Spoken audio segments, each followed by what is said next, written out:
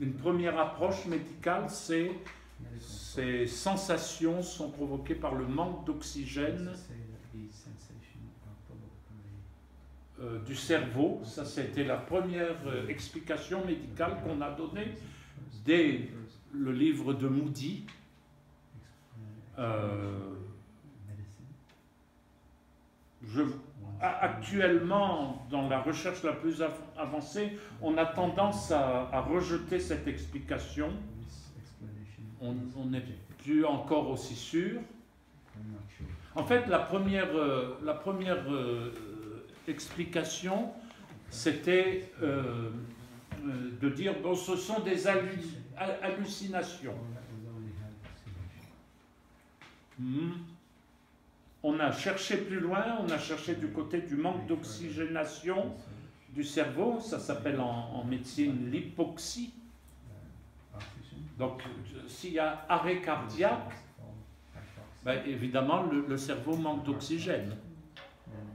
Alors, on, a, cherché et on s'est aperçu qu'en en fait, euh, oui, le manque d'oxygène, l'oxygène, euh, et puis le, qui entraîne une production de glucamate et de, de, de kétamine et ça provoque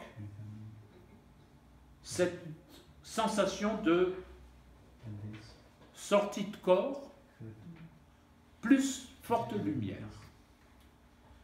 Ça, c'est médical. Donc si on prive le cerveau d'oxygène, on va induire une sensation de sortie de corps et une impression de forte lumière. Alors c'est intéressant parce qu'on retrouve quand même deux éléments de Moody. Vous vous souvenez? Dans les 15 euh, facteurs, là. Donc, bien sûr, ça ne rend pas compte des autres. Par exemple, planer au-dessus de son corps, rencontrer les êtres chers.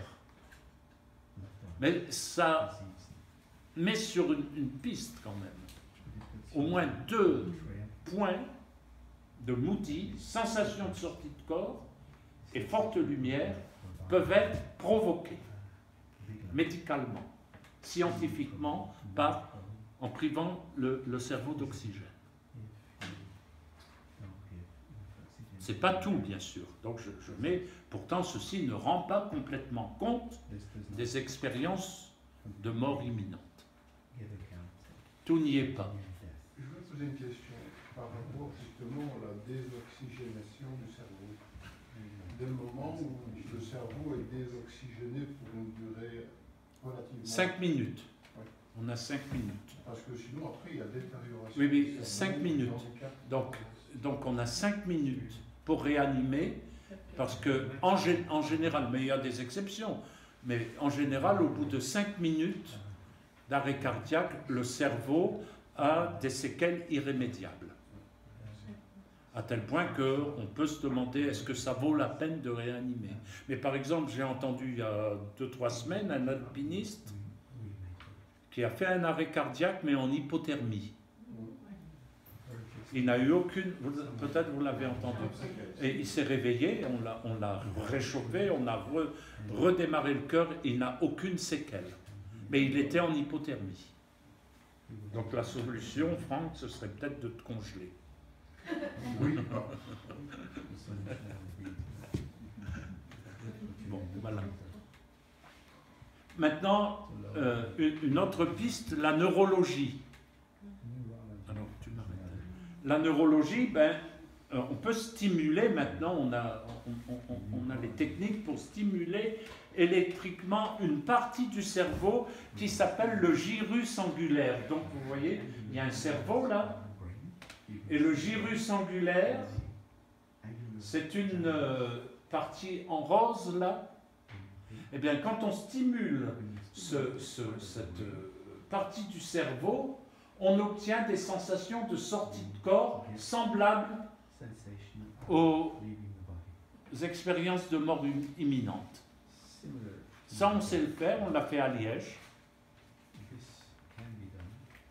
Et, mais, de nouveau, ça ne rend pas compte de tout le phénomène.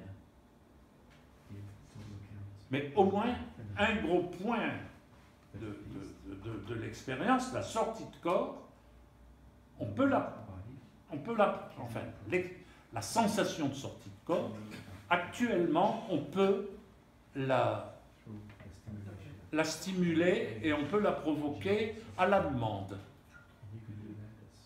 Bon, on ne fait pas ça dans son salon, hein. on fait ça dans des laboratoires euh, l'université, dans, dans les unités de recherche. Alors, on ne peut pas, Franck, ne pas parler de la psychologie, de la psychiatrie.